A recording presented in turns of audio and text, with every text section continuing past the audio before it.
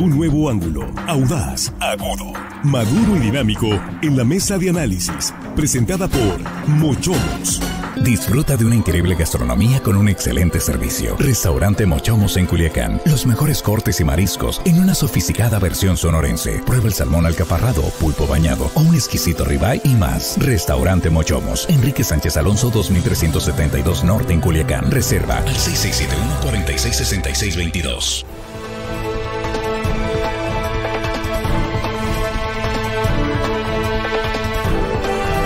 Estamos aquí ya de regreso y en la mesa de análisis de línea directa, primera emisión de este miércoles 22 de mayo 2024. El saludo a nuestros compañeros en la mesa que aquí estamos ya listos. Jesús Rojas, ¿cómo está? Buenos días. ¿Qué tal, Víctor? Buenos días, buenos días para los compañeros, buenos días para el auditorio. Hoy el saludo se va hasta el norte, Víctor. Ahora sí vas al norte. Tetamboca, el fuerte Sinaloa, Víctor. Ya era hora que fueras al norte. ¿cómo Ya, por aquel lado. Tetamboca. Sí. Muy bien, saludos. Juan Nordorica, ¿cómo estás? Muy buenos días. Muy buenos días, Víctor, a la mesa, amigos de la producción. Y hello, estimada audiencia que nos escuchan hoy miércoles, un día sin embargo. Pero hoy felicitamos a Leobardo Félix, que ayer fue su cumpleaños, un abogado. Le mandamos saludos, un abrazo. Ah, muy Nos bien, pidió felicidades. felicitaciones, así que felicidades. Leobardo, Félix. Félix, felicitaciones. Axel Avendaño, de regreso en la mesa. ¿Cómo estás? ¿Qué tal, Víctor? Muy buenos días, buenos días al auditorio, a los compañeros, a todo el equipo. Pues listos para empezar con el tema. Sí, bueno, vamos a hablar de la elección de diputados federales y locales que damos, Sí, ¿no? De los federales distritos electorales de Sinaloa. Hemos escuchado en voz de candidatos y candidatas de Morena que eh, Morena podría, incluso lo dijo Enrique Insunza aquí hace unos minutos, llevarse carro completo. Y dice, bueno, todo es todo. Y así están pidiendo el voto. 5 de 5, vota todo por Morena, pero hay algunos distritos electorales desde la óptica diferente, digamos. eh, obviamente los candidatos todos dicen que van a ganar, donde podría darse una mayor competencia y quizás en algunos riesgo de que Morena perdiera algunos distritos. Vamos a revisar precisamente estos eh, casos, porque bueno, yo, yo coincido, si vemos las encuestas, Jesús, hasta ahorita, pues eh, Sinaloa prácticamente arrasaría a Morena si se confirman las encuestas que se han publicado. El próximo 2 de junio prácticamente estaríamos viendo una elección eh, de Morena en Sinaloa con un alto porcentaje de votación. Claro, la palabra la tienen finalmente los ciudadanos. ¿no? Claro, y es que no es fácil estar compitiendo en una de las entidades federativas más morenistas de México. Así está catalogado Sinaloa. Es decir, es un estado donde tienen, eh, donde los ciudadanos tienen verdadera, ah, pues, podríamos decirle simpatía o arraigo con el voto hacia el movimiento de regeneración nacional, pero no creo que sea la suerte de todos los distritos, de todo el estado, de todos los municipios y en particular es lo que nos corresponde hablar el día de hoy. Yo diría, por ejemplo, que el Distrito 5, en la capital, en Culiacán, Sinaloa, donde está compitiendo Sergio El Piesquer, no creo que sea un distrito fácil para Morena. Es un distrito que va a ser muy competido, que va a ser reñido. El Pío tiene una campaña ya de hace tiempo, tiene además una campaña anterior donde no le fue nada mal. Se ve por todos lados, es un, es un candidato que le ha puesto, que le ha metido inventiva, que le ha puesto pues ese sello particular del pollito por todo el Culiacán se ve. Sí, ¿no? ya ha hecho Entonces, trabajo y ha hecho de trabajo de tierra, tierra sí. y lo más importante es que ha logrado hacer que el frente opositor en ese distrito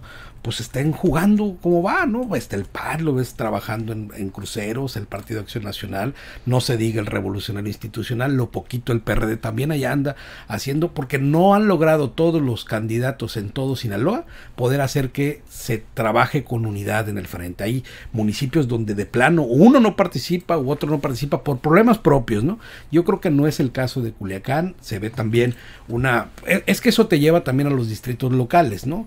Cómo se conforma el distrito 5, eh, ahí está el distrito 12, donde no creo que le vaya mal al frente opositor. Yo creo que el distrito 14, es incluso ya entrando a lo local, Sí. y lo hago por, por, por región o por, o por zona, pues, ¿no? El distrito 14 eh, va bien también, eh, por lo que me ha tocado eh, conocer de algunas encuestas, si no arriba, pero sí muy, muy, muy, muy cerrado el distrito 14 de- ¿Cerrado? de, de Estado Osorio, sí, Sí. el- que es el centro, centro de la capital, y donde se fortalece necesariamente esta idea de que el Distrito 5 puede lograrse como uno, como uno de los, de los que pueda sacar a, avante el frente opositor. Decir también que en el sur de Sinaloa, Juan Alfonso Mejía está haciendo un buen trabajo, está compitiendo, allá es un poco más difícil, allá la, la, contienda eh, sería un poco más difícil, pero también está haciendo lo propio. Esos son los dos distritos federales que veo en posibilidades eh, para el frente opositor. Bien, bueno, sí, una, bueno, de pájaro primer vistazo, Juan. Sí, yo también considero que el 1 y el 5 son los distritos federales donde puede haber competencia, que no ganar, competencia. Creo yo veo el 3 también, ¿eh? Ahorita. Bueno, puede, ser, pero. Hay que revisar el 3. Pero si bien lo personal veo el 1 y el 5, el 5 con más probabilidades todavía de hacer una competencia ahí el señor Pío Esquer. Creo que esos son los demás. Yo creo que sí está. Bueno, ahorita lo que digas ahorita, Víctor, en el 3, pero todos los demás de los 7 que hay, pues no. Así yo veo dos nada más que hay competencia, que pudiera haber competencia en los locales. Eh, los de Culiacán, un par de ellos, no porque lo que no por lo que están haciendo los candidatos a diputados locales, esos están desaparecidos, sino por, por ejemplo, la campaña del Pío Esquer, pues obviamente va a impulsar al candidato local, el 14 es el más fuerte 13, 14 creo que el 15 también, son los, los que pudieran estar ahí más competitivos por la campaña que ha hecho el Pío, ¿no? Hay que decirlo. Los otros están muertos, es más, no sé. Sadol ahí se anda moviendo, ¿eh? Pues sí, pero X. Digo, no al nivel de Pío, pero sí. X, o sea, está ahí y no, sale, su, con los sale su carita ahí. Difícil conseguir una cosa sin otra, ¿eh? Sí. Sí, claro. Sí, salía su Es más, sería ironía del destino que terminaran ganando el 14 y no el 5, ¿no? Sería ahí una, una, una, cruel broma del destino. Sí, sería una muy cruel broma del destino. Porque Sadol Osorio, si él fuera solo candidato, no sacara ni el 5% de los votos, obviamente, ¿no? Va. Creo que el PAN 7 tiene presencia, es un distrito urbano, ¿eh? El 14 tiene rato que al PAN le ha ido muy mal. Rato, ¿eh? Revisen los números y tiene rato que le ha ido muy mal. El PRI, Sadol, defiéndete, Sadol Osorio. Pues los Osorio, ¿hace cuántos años que. Nelvo Osorio, fue Nelvo Osorio fue candidata, su hermana fue candidata en la elección pasada, no le fue bien. Eh, los Osorio tienen años que no ganan una elección. La última que la ganó fue el 97 su papá. Y de ahí el hermano. Bueno, el PAN tiene rato que no gana. Eh, pero, pero, pero sí, para que veas. El PAN tiene rato que no gana y manda a los Osorios, que tiene todavía más rato que no ganan, porque ha perdido, eh, se me olvidó el nombre del doctor Osorio, el hermano de, de Sadol. Javier. De Javier Osorio, no ha ganado. Nelvo Osorio no ha ganado. Sadol Osorio no ha ganado. Ah, pero ¿qué tal las pluris? ¿no? Rica, rica las pluris. Y a gusto. Este, y a gusto, ¿no? pero bueno, para terminar, esos dos. Y fuera de eso, no veo algún distrito de AOME, sí, el 21, 22, creo. Y en Mazatlán, cuando mucho, uno también. Cuando mucho. Bueno, ahorita vamos avanzando. Axel. Eh, respecto a la, pregunta, Víctor, de, la mesa, ¿cuáles distritos podría ganar la oposición locales y federales? Mi respuesta sería muy simple, ninguno. Pero la explicación es un poco más compleja. Eh, yo no veo de momento, lo digo, eh, que la oposición pueda ganar alguno de los distritos ni federales ni locales. Juan dice que puede haber competencia en algunos en particular aquí. ¿Pero en qué te basas para decir eso? Aquí es un lo, poco lo mismo que le pregunté a Aquí es un poco más complejo. ¿Carro completo? Y, me voy a ir más atrás, Víctor. puede sonar irme muy, muy a lo profundo, pero es cierto. Recordemos que en Sinaloa antes los procesos locales y federales eran separados. Eh, la última fue la de Quirino Ordaz, eh, si no recuerdo mal, que fueron procesos distintos, después se homologaron, incluso hubo una ocasión en que los alcaldes duraron un año y medio. Y ahorita son... Quirino, eh, son Quirino duró cuatro años y medio. Ahora, ahora, ahora, ahora están juntos los procesos. ¿Y esto qué ocasiona? Que se pierdan. Que se pierdan en, un proceso como este, que hay cinco elecciones concurrentes, presidencias, senadurías, alcaldías, diputaciones federales y locales, para mí los candidatos a las diputaciones están desaparecidos en el sentido de que no los veo. Eso sí. Porque están opacados por la campaña a la presidencia, le siguen las campañas a las senadurías, le siguen las campañas de las alcaldías y después vienen los candidatos de las diputaciones federales y más abajo los de las diputaciones locales. Cuando ayer decidimos el tema, yo me puse a pensar, ¿a quién veo con posibilidades? Y dije, ni siquiera me sé el nombre de los candidatos y yo trabajo en medios y yo trabajo en algo que me obliga a estar enterado de la política y yo no sé quiénes son los candidatos opositores de mi distrito. Ah, ahí, te una, ahí, una, pregunta a propósito de lo que dices. ¿Quién es el candidato de Morena a diputado federal por el distrito 3? Eh, y yo sé porque trabajo en esto, es Fernando García. Y la pensaste, ¿no? Sí. No te sale así en la primera. De hecho, he visto más campaña de, Liliana, de Liliana Cárdenas. Eh, que, que, de Fernando García. No ha venido Fernando García a línea directa, no, no ha solicitado espacio, no lo hemos visto en campaña. ¿Tú sí lo has visto? No, no, no, no lo he visto. Bueno, por eso veo yo riesgo en Como el 13. tampoco he visto, por ejemplo, de los candidatos a diputaciones locales en mi distrito en el 13, no sé cómo se llama el de Morena, no sé cómo se llama el del Frente Opositor. Locales. Locales. Eh, no he visto campañas y aquí regreso a, lo, a, mi argumento que yo veo que Morena las va a ganar todas. Cuando sucede un caso como este, que se desaparecen los candidatos, lo que prevalece es el voto duro, sí. el voto parejo, y el que lleva las de ganar es Morena, y la gente al decir, no conozco ni quién es el del opositor, yo voto todo Morena. Bueno, aquí, aquí perdón Jesús, nada más eh, un poco este, complementando lo que dice Axel. Es eh, cierto, ahí está, no, no estamos aquí, digamos, inventando nada. No brillan, puede haber algunas excepciones, como siempre. Los candidatos a diputados locales por sí mismos se cuelgan de las campañas de los candidatos a presidentes municipales. Prácticamente los hemos visto. Hay algunas excepciones. Estamos hablando de la oposición con claro. posibilidades de triunfo, ¿sí? Eh, pero en el caso del Distrito 3, ayer estuvo Liliana Cárdenas eh, y decía, ayer o antier, antier, bueno. Fue ayer. Ayer, sí, ¿verdad? Decía, algunos candidatos le están apostando únicamente a la marca. Porque yo le decía, ¿a quién estamos invitando a entrevistas? Porque no pueden estar todos, imposible, ¿no? No alcanza el tiempo. Estamos invitando a quienes andan en campaña. Jesús, Juan, Axel, a quienes están en campaña. Yo me puse a revisar redes sociales y yo no veo a muchos candidatos, ni en sus redes sociales.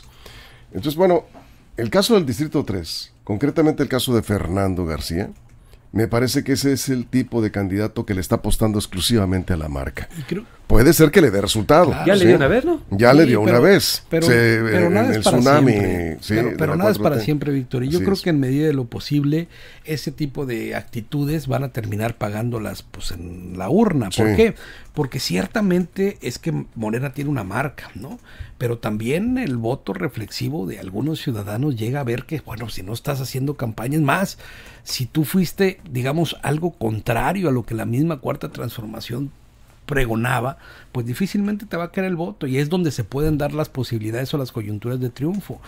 Yo creo que es posible que ganen todo, como dice Axel, sí, pero también vemos cómo en algunos distritos se están marcando diferencias, donde también, y además donde si se juntan estas dos, es- estas dos ah, ca- causales, ¿no? Una, un buen candidato haciendo presencia, ¿no? Apoyándose necesariamente con las estructuras que debe tener los distritos, estoy hablando de distrito federal, con las estructuras que debe tener los distritos locales, trabajando articuladamente en medida de lo posible con el presidente o la candidata a presidenta municipal, pues empiezas a tener ya como una idea de, de una elección contraria, una elección no, no, no, no tendencial, por decirlo de alguna manera, donde se pueden dar otros resultados porque ya ha pasado también en las elecciones. Es decir, cuando el PRI tenía todo, acuérdense, no, vamos a ganar todo, y al final tenían descontando dos, tres Empezaron a distritos, empezaron a perder, allá un, un municipio, tres municipios, bueno. Creo que ese escenario se puede pre- presentar. Uno de ellos es el Distrito Quinto, por lo que acompaña abajo, ¿no? Y porque además creo que el, yo creo que el, el punto débil del Distrito 5 está en el Distrito 15, que es donde va Barrantes. Creo que no ha logrado conectar, digo, si, si dicen que están desaparecidos algunos, no ha logrado conectar con ese sector de la población, con ese, eh, digamos, con esa identidad que tienen los electores de ese, de ese distrito. Y pues creo que ahí hace falta. Entonces, pero en otros lados sí han prendido, han, han estado trabajando, o sea, se ven, ¿no? Los, Sí. que, los, los que andamos por esos lados se alcanzan a ver que, que traen ganas de, de- de- de triunfar y muy probablemente, además, como te digo, he tenido la oportunidad de ver algunas encuestas, diferentes por supuesto a las que tendrán otros, Sí. en donde van muy parejos, tan parejos que si sale a votar la gente de manera como se espera, ¿no? De espontáneo y todo, esas tendencias se pueden borrar porque son números mínimos, dos, tres puntos de diferencia, entonces pues se puede dar algo ahí. Hay, dos estrategias y son los llamados que están haciendo eh, candidatas y candidatos de, de uno y de otro bando. Hablamos de las dos grandes coaliciones. Eh, los candidatos y candidatas de la coalición Fuerza y Corazón por México, hablando de candidatos a diputados federales y al Senado, le piden, eh, ayer escuchaba a Juan Alfonso Mejía, me parece que es una, una, pues una postura inteligente, dice, le pedimos a la gente que vaya a votar por los monos, por los candidatos, por las personas, no por los partidos. Los candidatos de Morena piden todo para Morena. Y vemos ahí claramente el contraste. El asunto es que cuando el ciudadano, Juan, llega a la urna y le bueno, primero te entregan las boletas, pasas a la urna, empiezas a ver los logos de los partidos políticos a la hora de votar, pues sí, pesa, o ayuda o afecta. Y entonces el llamado de la oposición es, vean a las personas, no voten por partidos. Yo no sé qué tanto va a influir esto, o qué tanto va a influir el peso de la marca que acapara las tendencias en las encuestas. los votos cruzados, si está estudiado, ahí está, no, no es un invento, más o menos entre el 4 y el 7%, ahí se ha movido el voto cruzado más es allá. bajo, ¿no? Sí, no, no, no, no pinta. No pinta. No pinta el voto cruzado, es muy, muy poco. 4 o 7 puntos te mueven una elección cuando son cerradas, cuando son abiertas. No, es un tema muy, muy complejo. Así debería de ser votar por los monos. El gran problema es que a veces los monos los monos no se deslindan de los, de los colores y de los partidos, ¿no? O sea, por más mono que seas, bonito y bien pintado, o mona, para que aquí de género, mona, bonita, bien pintado, mono, bonito y bien pintado en el cartel, pues a la hora de la verdad no se deslindan de los partidos políticos, ¿no? Me ha tocado gente impulsada por partidos políticos que sí se deslindan de ellos, a veces están con ellos, a veces no, pero ese es el gran problema y el voto cruzado pues es, es muy muy poco y creo que eh, yo coincido con, con, con Axel, yo creo que va a ser carro completo. Cuando hablo de estos distritos es donde hay competencia, donde se puede haber una incertidumbre del triunfo. Yo siempre hablo de la incertidumbre del triunfo. Por ejemplo, los otros distritos, en el 2, en el 4, ahí no hay incertidumbre, los federales. Ahí va a ganar Morena, no hay mucha incertidumbre. Por ahí nos pueden castigar porque estamos diciendo la certeza, bueno, eso es lo personal, ¿no? Ahí yo creo que, que va a ganar Morena con contundencia, incluso el 3... Nadie sabe. Ah, pues, ¿Qué va a pasar? Sigo insistiendo, si tiene una pluma va a caer, la pluma cae porque existe la ley de gravedad, hay cosas que se pueden prever sencillamente. Es más, eh, aquí en línea directa se da pronóstico del tiempo, se da un pronóstico del tiempo. ¿Por qué da un pronóstico del tiempo? Porque existe un modelo, es por eso, entonces hay modelos que te pueden ayudar. ¿Qué, ¿Qué puede pasar? Pues que en el distrito 2 carne morena y en el 5 sea cerrada. Eso puede pasar. Y hablaba, por ejemplo, del 3. El problema del voto cruzado. Las encuestas que vemos que Salvador Alvarado, que es donde está el 3, que digamos que es la parte más importante de este voto, las encuestas que me ha tocado ver donde está más separado Morena del resto. Entonces, tendría que ser un voto cruzado descomunal para que pierda este señor, que no me acuerdo el nombre, verdad, no se me olvida. Eh, yo creo que sí, pues no se llamar inteligente, no, no es inteligente, es es, digamos, vivo de alguna manera el entender esto, pues para qué me desgasto si estoy viendo que mis candidatos a alcaldes, mis candidatos a gobernadores, mis candidatos al senado están altísimos en mi distrito. Ahí me cuelo. Pues como que para qué hago campaña. Antes de la pausa, Axel, eh, aquí te están reclamando de que Luis de la Rocha es el candidato del distrito 13 y que sí tiene mucha presencia en eh, el sector donde vives. ¿Tú lo has visto? No, no lo he visto. Estuvo eh, aquí en entrevista. Es un tipo inteligente. y, sí, y de hecho sí, sí lo, lo conozco, digamos, su, su, trabajo como legislador. Eh, respetable además su trabajo. pero la verdad no, no tenía en mente que él era el, candidato de... Algo, algo está faltando A mí o a mi casa pues no ha llegado un volante de Luis de la Rocha. Tampoco ha llegado de ninguno de Morena. No conozco el nombre, quizás si me lo dicen lo, lo pueda recordar. No ha llegado ningún volante. ¿Quién es el del 13 de Morena? Steph ¿Rea? No, ya es del 14. Ajá. ¿No, crees que tampoco andan así que digas? No, no, pero ellos, pero ellos, pues, es, lo que comentabas ahorita, Víctor. Hay unos, eh, incluso hay candidatos del frente que yo siento que están haciendo mejor campaña. Pero la marca es la que va a prevalecer. Prevalecía en los tiempos del PRI y siento que va a prevalecer. Y no es por un interés personal, sino como yo veo las dinámicas del electorado en Sinaloa. Y a esto me remito. Eh, si me paso el tiempo me dices, Víctor, o continuamos. Eh, es la dinámica del voto. En Sinaloa no es un estado donde la dinámica sea de voto cruzado.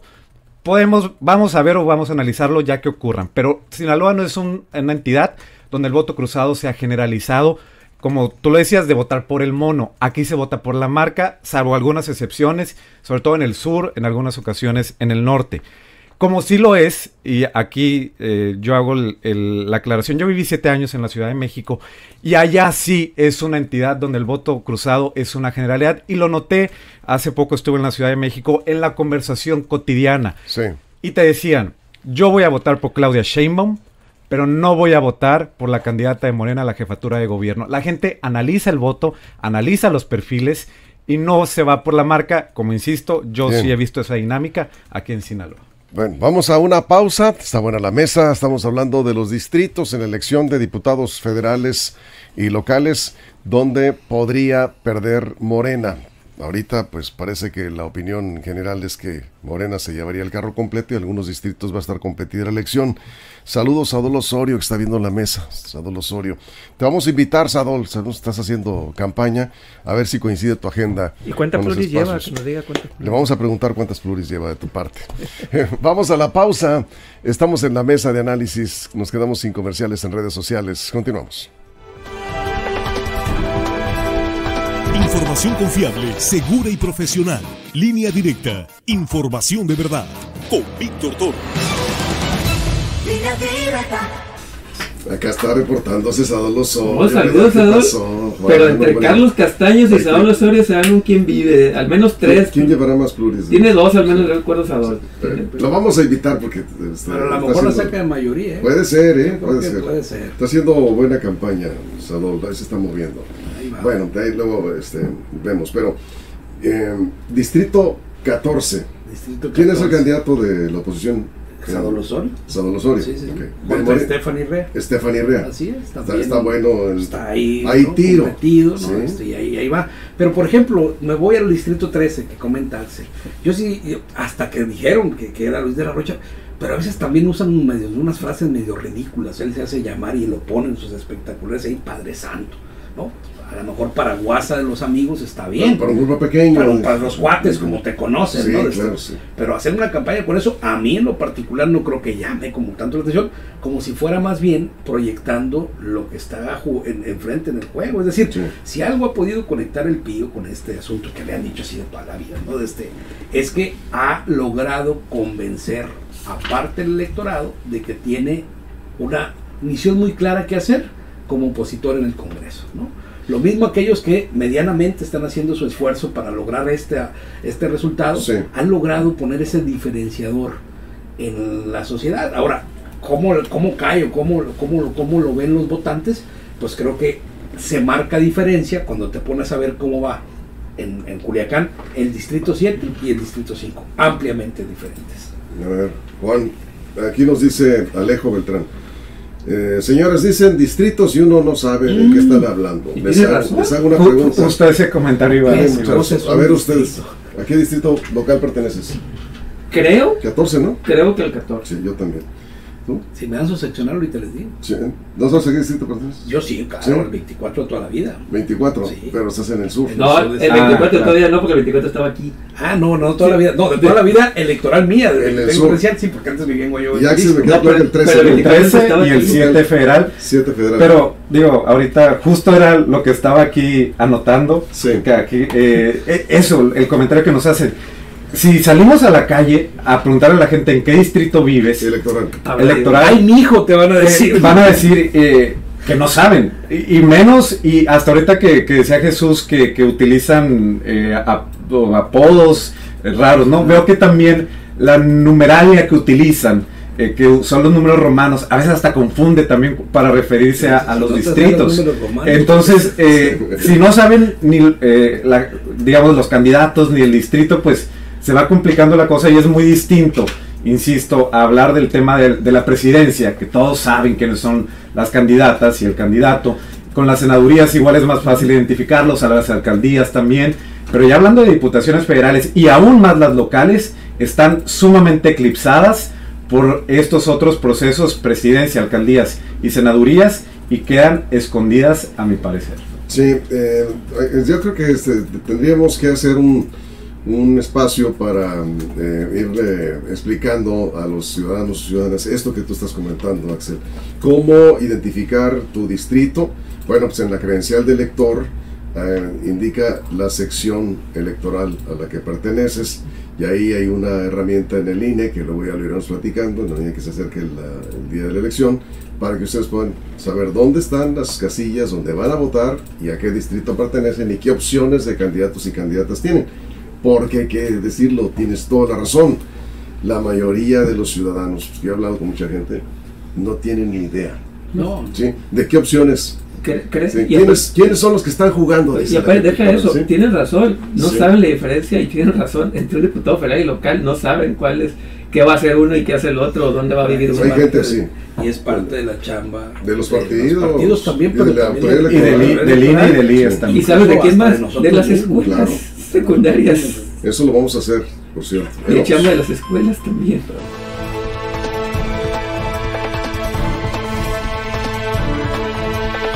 Estamos de regreso ya en la parte final de la mesa, nos quedan 10 minutos para eh, pues, tratar de aterrizar una conclusión. Eh, decíamos en el corte, hay personas que no saben a qué distrito pertenecen, distrito electoral. Comentaba Axel hace un momento porque nos hizo un comentario aquí hace un momento eh, Alejo Beltrán, ¿sí? Decía, pues hablan de distritos y yo no sé de qué están hablando, ¿sí? Entonces menos de qué, qué candidatos Básicamente, votar, ¿sí? un distrito es una demarcación territorial para efectos de organización electoral, ¿no? Y ya, usted pertenece a alguno de, de- de los de los 24 que hay en lo local, ¿no? O de los 5 que hay en lo federal. Este, lo, lo, lo que necesitamos, Víctor, es, por ejemplo, Son siete federales. Perdón, pero los siete estados Sí. federales, sí.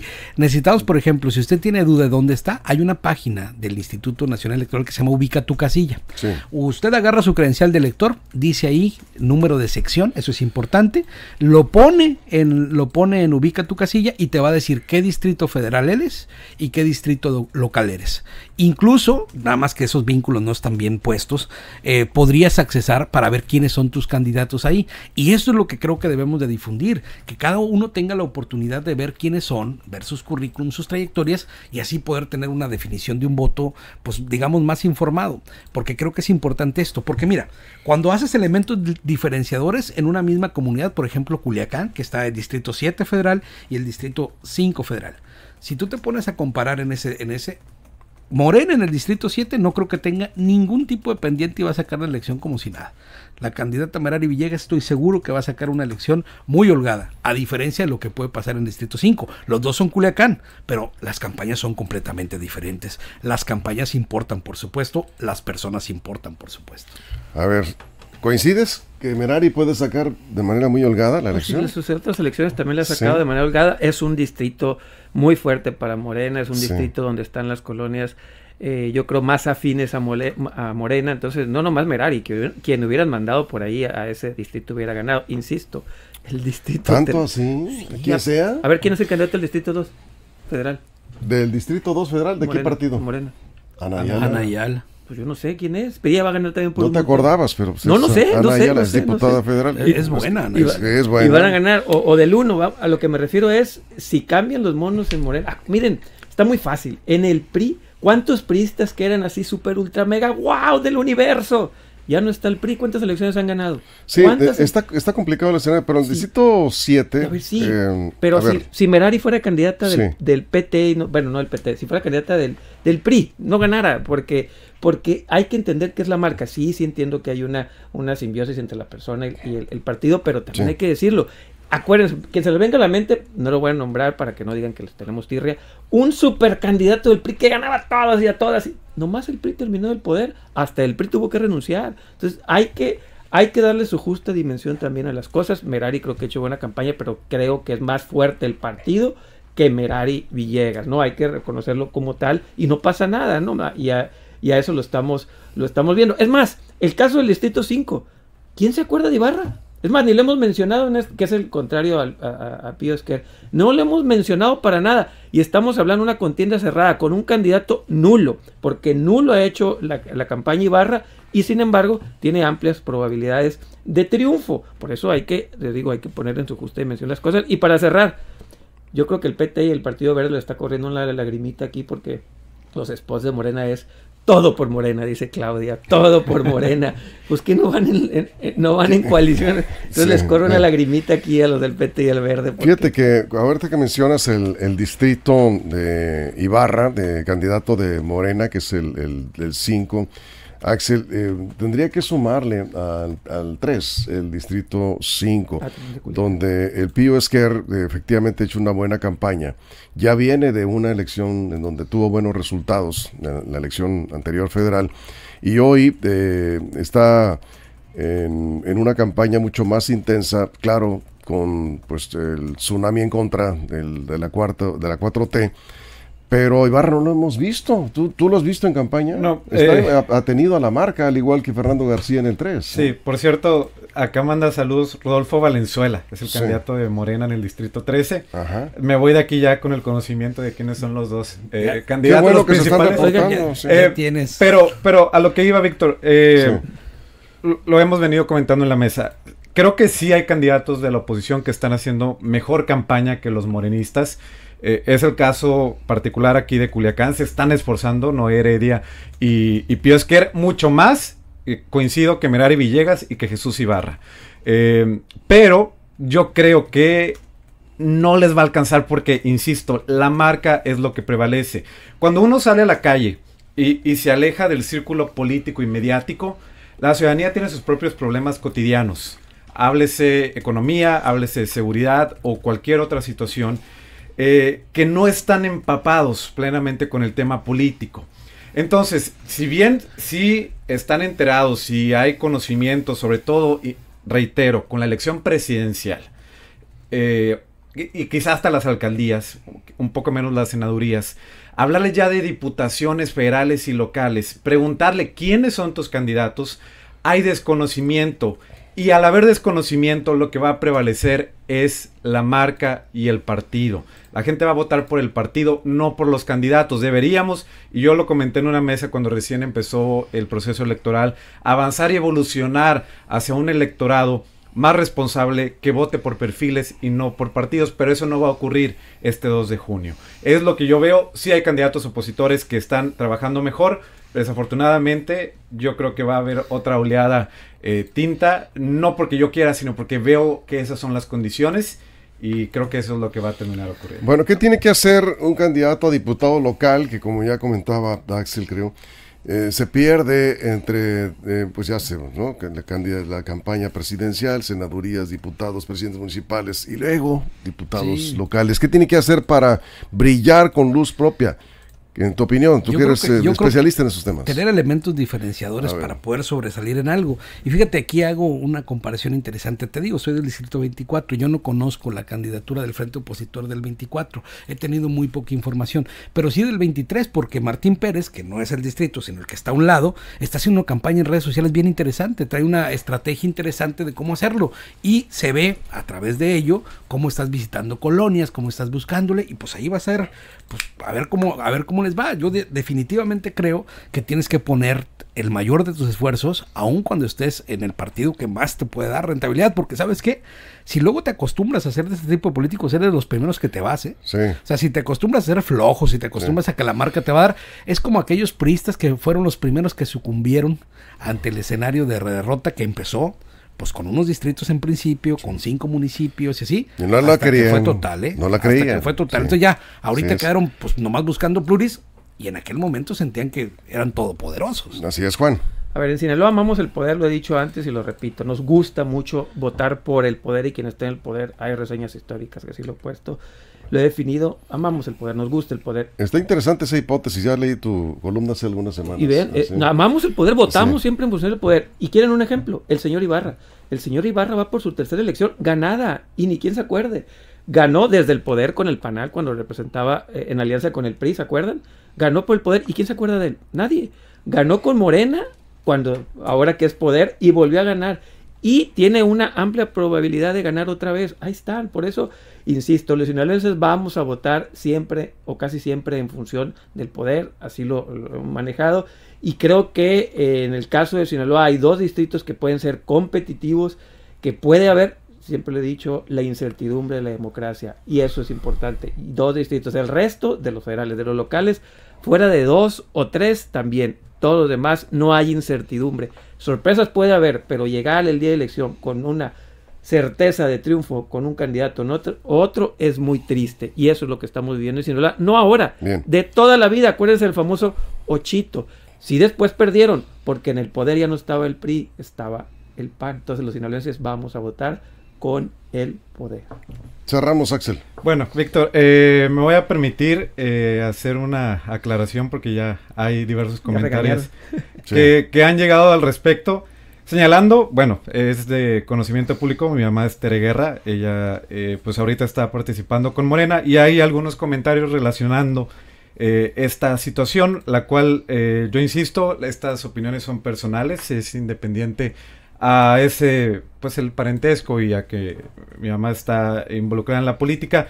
Yo simplemente lo que comento es eh, mi comentario a raíz de que en mi percepción Morena va a ganar al menos todos los distritos, no tiene nada que ver con el parentesco, sino porque es la, eh, digamos, la dinámica que yo he visto en Sinaloa. Yo quisiera que hubiera voto cruzado, que pudiéramos ver que... Me va a regañar tu mamá. No ves competencia. No, no, no, no, pero a lo que voy es... Pregunta, eh, ¿No ves competencia en algún distrito? no, yo no veo competencia, en algún distrito. No, yo sí. Pero, pero yo veo, eh, insisto, y van a decir que siempre manejo el, el tema Sí. eh, de la Ciudad de México. Yo creo que la, la Morena puede perder la jefatura de gobierno en la Ciudad de México.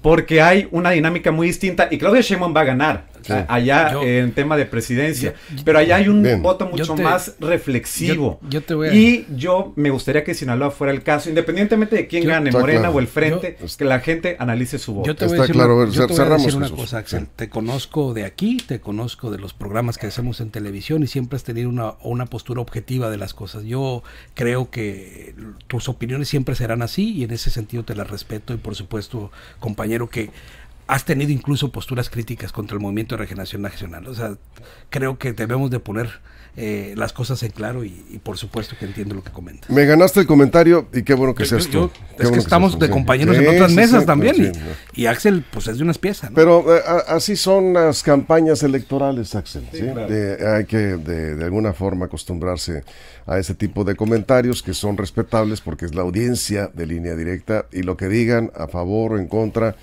es bienvenido. La semana ¿Sí? pasada me tocó a mí. Eh, sí, y a mí que es casi parte to- de- todos los días. Sí, a Juan No, Burgos y a todos este, nos toca. eh, eres un profesional, eso no, no se discute, ¿no? Eh, ni siquiera necesidad de aclarar. Claro, no, Sí. pero el- los políticos y nosotros que estamos Sí. en los medios, pues ya sabemos que, que estamos expuestos. Tú no ahí. tienes la culpa de que Tere Guerra se dedique a la política, ni Tere que tú te dediques al Claro. periodismo, sí, así que... Y- Este, y, estamos plenamente eh, conscientes eh, de ello. exactamente. Y Cada cada, quien- quien, tiene sus, sus opiniones. Sí, ¿no? y me consta, me consta, sí. Bueno, pues con esto nos vamos. Gracias por sus comentarios. Seguimos atentos en la mesa de análisis. Gracias, Juan, Axel, Buenos días. Jesús. Dale. Saludos, Armando, que ya ahí va. Ahí va Armando Ojeda, ya mero, ya mero regresa por acá. A toda la producción, a todo el equipo, muchas gracias, pero sobre todo, gracias a usted por su compañía. Pásela bien.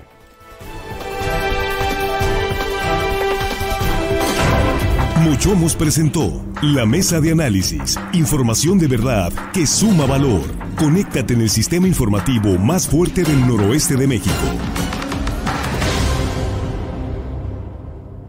Esto fue Mantente informado. Recuerda darle like a esta noticia, suscribirte a Línea Directa y activar la campanita para recibir la información al momento en tus dispositivos.